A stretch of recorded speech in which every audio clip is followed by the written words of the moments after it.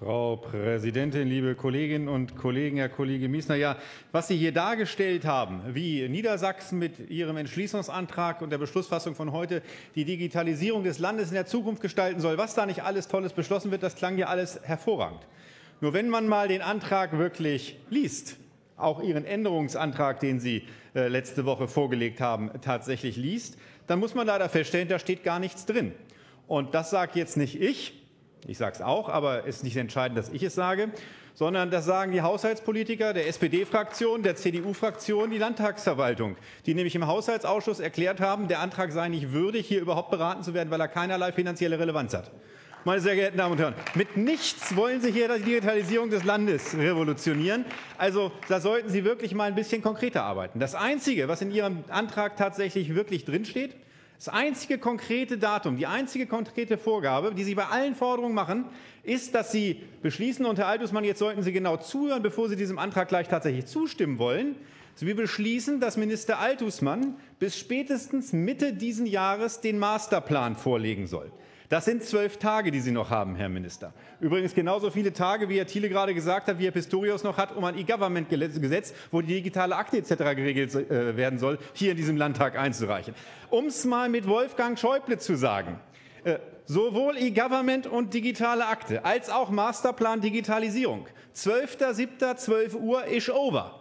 Meine sehr geehrten Damen und Herren, dann sind Sie gescheitert dann können Sie nicht mehr zurück. Sie sind gescheitert, meine sehr geehrten Damen und Herren, mit Ihrem gesamten Vorgaben Digitalisierung, sowohl was Breitbandausbau als auch was Digitalisierung der Verwaltung angeht. Und das ist, und das ist wirklich sehr, sehr ärgerlich. Und wenn wir uns das vorstellen, ähm, das Casting der Funklöcher, das wir in den letzten Wochen hier tatsächlich gesehen haben, Herr Minister Altusmann, wo Sie mit einem Pflichtfeld jeden, der ein Funkloch melden wollte, auch noch aufgefordert und gezwungen haben zu sagen, warum gerade dieses Funkloch besonders schlimm sei. Herr das Bode, doch würden Sie eine Zwischenfrage des Kollegen Mayer zulassen? An Lächerlichkeit nicht zu überbieten. Und jetzt kann Herr Mayer gerne fragen. Ja, vielen Dank, Herr Kollege Bode. Da Sie ja über den Masterplan sprechen, den ja alle Ressorts äh, zuliefern sollen und ich auf der Regierungsbank nur den Digitalisierungsminister und den Aufpasser, den Finanzminister sehe, äh, weiß ich nicht, ob Sie eine Vermutung haben, ob die jetzt die Beispiele zusammentragen müssen, damit das in zwölf Tagen fertig ist? Oder warum ist keiner von der Regierungsbank da bei dem wichtigen Masterplan Digitalisierung? Also Herrn Tümmler habe ich gesehen, das ist sehr lobenswert, aber interessant wäre doch natürlich, wenn der Innenminister mal tatsächlich da wäre, weil der nämlich die originäre Zuständigkeit für Digitalisierung der Verwaltung hat. Für die Frage, wie können Bürger eigentlich mal schneller in Bürgerämtern tatsächlich bedient werden? Für die Frage, müssen Akten eigentlich immer noch über den Flur geschoben werden oder kann man nicht einfach Bits und Bytes hin und her tragen, meine sehr geehrten Damen und Herren? Das ist die Zuständigkeit des Innenministers, der hier vollkommen versagt und natürlich zu Recht fehlt, meine sehr geehrten Damen und Herren.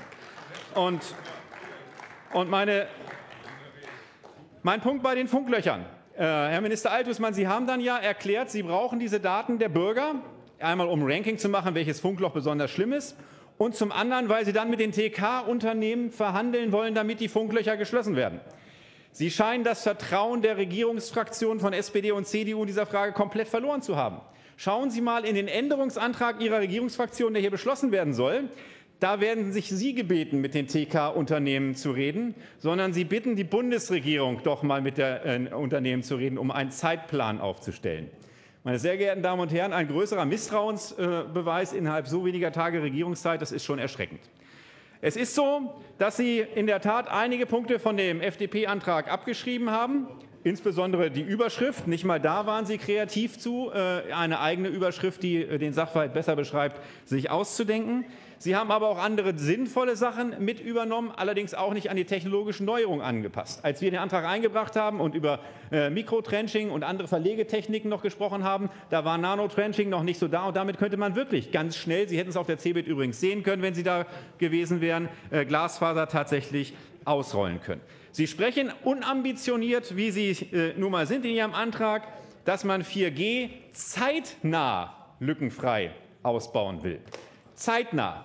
Ja, was ist nun zeitnah? Also, wenn jetzt beispielsweise eine Generation ja ungefähr mit 30 Jahren gerechnet wird, sind 15 Jahre zeitnah. Was ist zeitnah?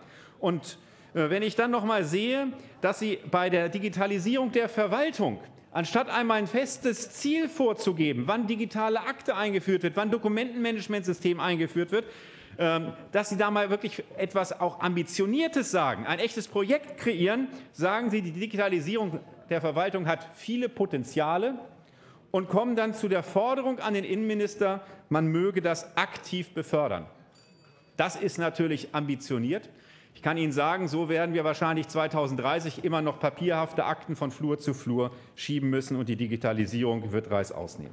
Meine sehr geehrten Damen und Herren, es geht auch anders. Der grüne Antrag beispielsweise zur Frage, wie wäre es mit einem Rechtsanspruch, äh, wie kann man das definieren, wäre es wert gewesen, wirklich diskutiert zu werden. Sie haben sich einer Debatte, einer Anhörung, überhaupt einer Beratung des Antrags tatsächlich verweigert, obwohl dieses Thema Universaldienst tatsächlich kommen wird. Deshalb ist es sehr schade, dass man diese Gelegenheit nicht ergriffen hat. Genauso haben Sie die konkreten Forderungen der FDP nicht aufgegriffen. Und um es dann noch mal deutlich zu machen, was wir sagen, wir wollen ein echtes Marsprojekt, ein Mondprojekt uns vornehmen, ambitionierte Ziele, die wir realisieren wollen, nämlich dass wir bis 2020 überall in Niedersachsen 4G Internet, mobiles Internetstandard haben ohne Funklöcher. Dass wir bis 2022 flächendeckend ein Glasfaser-Giganetz in Niedersachsen realisiert haben dass wir bis 2025 den 5G-Ausbau in Niedersachsen in den Angriff, in die Umsetzung gebracht haben. Und bei der Digitalisierung der Verwaltung, Herr Pistorius, mal eine ganz ehrliche, offene Aufgabe. Suchen Sie sich einen vernünftigen Dienstleister bei der Software und bis 2020 die gesamte Landesverwaltung mit digitaler Akte- und Dokumentmanagementsysteme ausstatten, damit die Bürger nicht digitale, digitaler sind, als die digitale Verwaltung jemals sein Ein wird. schöner letzter Satz, Herr Bode. Danke. So. Wir haben eine Wortmeldung aus der AfD-Fraktion. Herr Stefan Henze vorliegen, bitte.